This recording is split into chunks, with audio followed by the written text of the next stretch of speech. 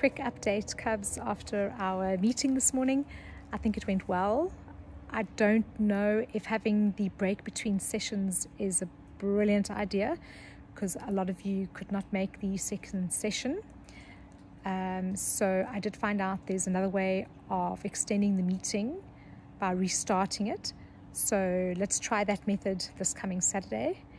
And thank you to those that contributed about the unique, um, unique, story about their family member. Those of you that still need to do your interviews, please try and get to them when you can. And um, this coming Saturday, that'll be the 23rd of May, we're going to tackle trails. So I'll email some information beforehand to your parents.